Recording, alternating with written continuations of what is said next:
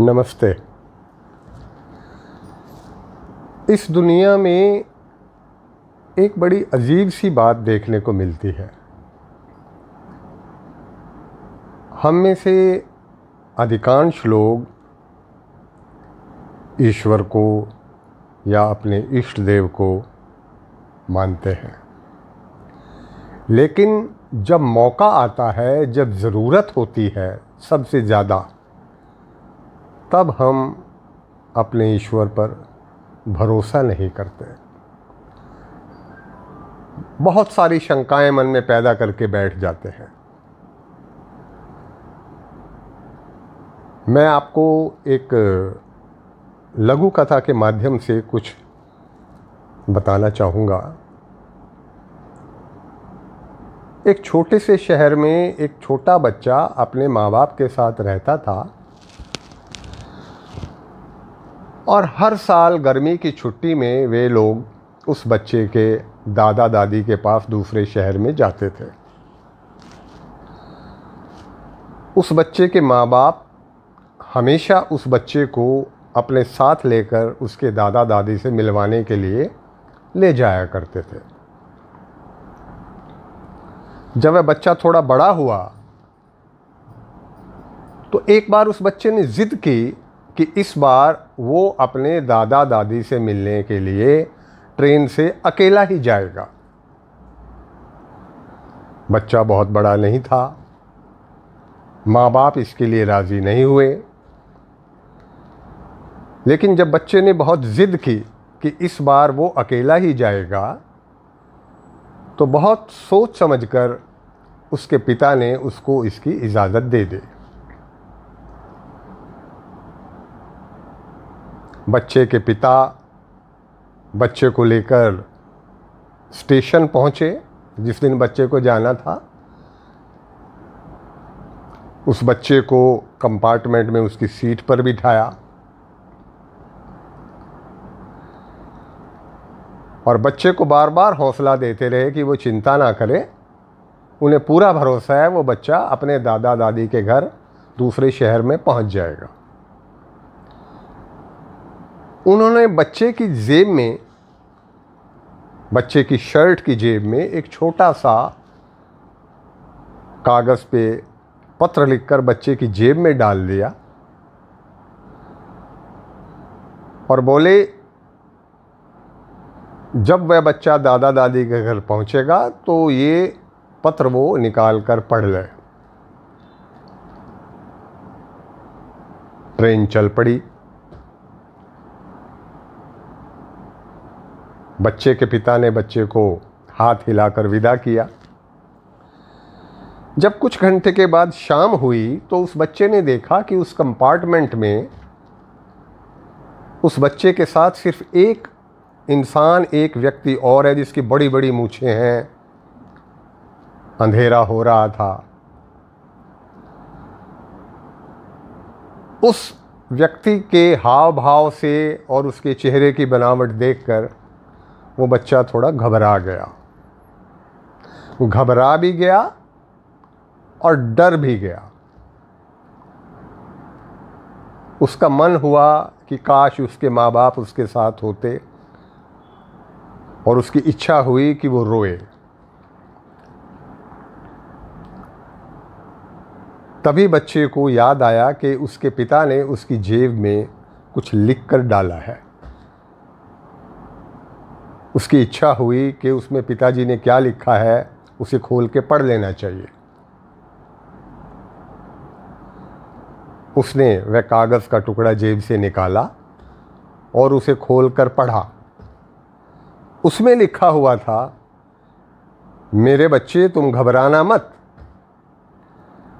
मैं इसी ट्रेन में तुम्हारे साथ अगले कंपार्टमेंट में बैठा हुआ हूँ। अगर तुम डर रहे हो या तुम्हें डर लग रहा है तो या तो तुम अगले कंपार्टमेंट में मेरे पास चले आना, या मुझे अपने पास बुला लेना। यह पढ़कर और देखकर, समझकर बच्चे का सारा डर चला गया। वह निश्चिंत हो गया कि उसके पिता इसी ट्रेन में उसके साथ हैं। यही हमारे साथ जीवन में घटित होता है। हम अक्सर भूल जाते हैं, ख़ास तौर पर जब जब कोई मुसीबत या दिक्कत हम पे आए। खुशी में तो भूल ही जाते हैं अक्सर। हम हमेशा ये भूल जाते हैं कि जो हमारे ईष्ट देव हैं, जो ईश्वर है, जो हमारे पिता हैं, वो हमेशा हमारे साथ हैं। बात सिर्फ़ इतनी है कि हम याद करें, महसूस करें मन से, सच्चे दिल से कि वो हमारे साथ हैं और उन्हें पुकारें। वो दूर है ही नहीं। अब मैं महाभारत काल की एक घटना आपको बताता हूँ जो अधिकांश लोगों को मालूम है। जब पांडव पासों का खेल, द्रुत कीड़ा खेलने के लिए कौरवों के महल में गए तो श्री कृष्ण उनके साथ थे। लेकिन पांडवों ने ये सोचकर कि श्री कृष्ण को उनका जुआ खेलना या पासे खेलना बुरा लग सकता है, उन्हें दूसरे महल में, एक दूसरे कक्ष में ठहरा दिया गया। और कहा कि वो कौरवों से मिलकर कुछ ही देर में लौट आएँगे। पांडव नहीं चाहते थे कि श्री कृष्ण को पता लगे कि वो द्रुत कीड़ा के लिए जा रहे हैं। यही उनकी सबसे बड़ी गलती भी थी और सबसे बड़ा अपराध भी था। कौरवों ने अपनी तरफ़ से अपने मामा शकुनी को अधिकृत कर दिया ऑथोराइज कर दिया कि उनकी तरफ़ से पासे वो फेंकेगा। अब जरा आप मुझे बताइए कि अगर पांडव अपनी तरफ़ से श्री कृष्ण को अधिकृत करते पैसे, पासे फेंकने के लिए, कौड़ियाँ फेंकने के लिए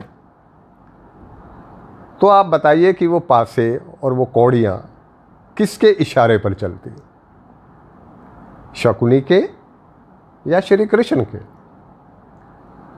लेकिन पांडवों को लगा श्री कृष्ण जी दूसरे कक्ष में हैं, महल में दूर हैं, वो तो शायद देख ही नहीं पा रहे। अब आप इसको पहली घटना से रिलेट कीजिए। यही हो रहा है। लेकिन जब द्रौपदी का चीरहरण होने लगा और द्रौपदी ने ईश्वर को, श्री कृष्ण को सच्चे मन से याद किया तो श्री कृष्ण द्रौपदी की लाज बचाने के लिए तुरंत उपस्थित हो गए। और चाह कर भी कौरव द्रौपदी का अहित नहीं कर पाए। यही भूल हम सबसे हो रही है। चार दीवारी के भीतर दरवाज़ा बंद करके, बंद दरवाजे के पीछे हमें लगता है कि यहाँ ईश्वर नहीं है।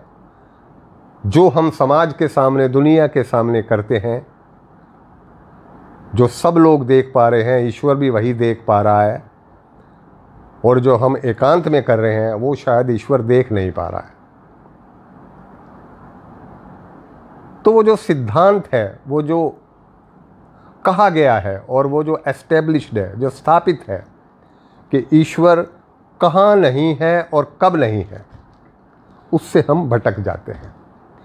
यही मैं कह रहा हूँ कि हम ईश्वर के वजूद को मानते हैं। लेकिन उस पर भरोसा नहीं करते। एक ड्यूअल स्टैंडर्ड, दोहरे मापदंड हम लोगों ने स्थापित कर लिए हैं। अगर हम ये सब मान लें, जान लें कि अच्छा या बुरा हम जो भी कर रहे हैं, उसको कोई देख रहा है या नहीं देख रहा है, ईश्वर हमेशा देख रहा है। अगर हम ये मान लें तो कोई भी ऐसा कार्य जो दूसरे का नुकसान करता है उसको करने से हम बच जाएँगे, उसको करने से पहले दस बार सोचेंगे। हम इससे मानसिक कष्ट में भी, से भी बचेंगे, संताप से भी बचेंगे, और जब अपने आप को ईश्वर के हवाले करेंगे, अपना कर्म सबको करना है। सब कम करना है, ईश्वर, लेकिन दृष्टा है। वो देख रहा है। सिर्फ़ इतनी सी बात समझने की है, हम ये जान लें कि ईश्वर दृष्टा है, वो देख रहा है। हम ये ना समझें कि बंद दरवाजे के पीछे हम कर रहे हैं, कोई नहीं देख रहा। हमेशा इस बात को याद रखें कि कोई भी ऐसा काम जो हम सब के सामने करते हैं, जो दुनिया में सबको दिखाई देता है, उसको हम पर्सनैलिटी कहते हैं। पर्सनैलिटी यानी व्यक्तित्व। लेकिन कोई भी ऐसा काम जब कोई देख ना रहा हो, वो कोई भी ऐसा काम हम करते हैं तो उसको हम चरित्र कहते हैं। यही फ़र्क है पर्सनैलिटी और करेक्टर में। तो आज की बात सिर्फ़ इतनी ही है कि हमें ये जानना होगा कि हमारा ईश्वर, मेरे केस में मेरे इष्टदेव हनुमान जी हैं। तो मुझे ये मानना होगा, जानना होगा कि अगर मैं ईश्वर पे, हनुमान जी पे, आप अपने इष्ट देव पे भरोसा करते हैं तो ये आप मान करके चलें कि आपके इष्ट देव हमेशा आपके साथ हैं। आप जो भी कर्म करेंगे, वो उसके दृष्टा हैं और सच्चे मन से आप उनको जब भी पुकारेंगे, वो आपकी प्रार्थना का जवाब ज़रूर देंगे। नमस्ते